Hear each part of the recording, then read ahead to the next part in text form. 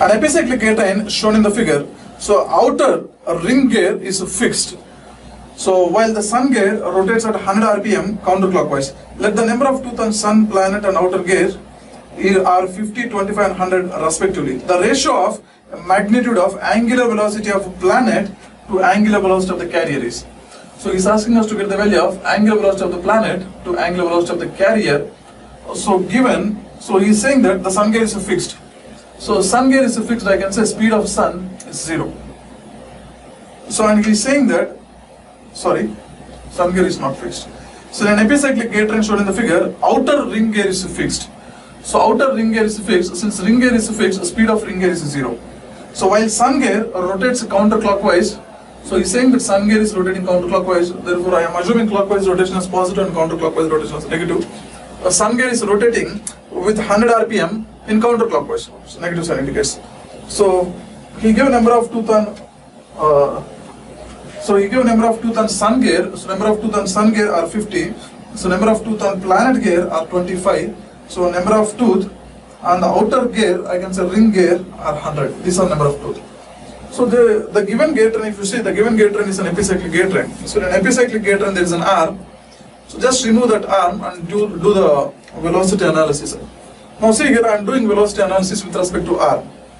So now you see, so if you look at the figure that's given in the question, so sun gear and planet gear are in mesh. The sun gear and planet gear, gear are in mesh, I can write speed of sun to speed of a planet or number of tooth on planet to number of tooth on sun. So both are in external mesh, introduce the negative sign. Since both are in external mesh, they rotate in opposite direction. This negative sign is for that. And you are uh, doing everything with respect to arm, so remove arm velocity.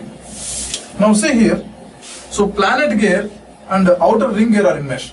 I can say speed of planet to speed of minus speed of arm divided by speed of ring, so minus speed of arm, is number of tooth on ring to that of number of tooth on planet. Since both are in internal mesh, both will rotate in same direction, therefore a positive sign. So he's asking us to get the value of speed of planet to speed of arm, I can get from this equation. So take speed of arm common, I can write speed of planet to speed of arm minus 1 divided by speed of ring divided by speed of arm, so minus 1. So speed of ring is given as 0, I can say this becomes 0. This is equals to number of tooth on ring, so this is 100, number of tooth on planet, this is 25, I can say this is 4. Now I can write like this, it's minus 1 into 4, it's minus 4. So speed of planet divided by speed of arm minus 1 is minus 4. I can say the speed of planet to speed of arm is minus 3. The ratio of speed of planet to speed of arm is minus 3.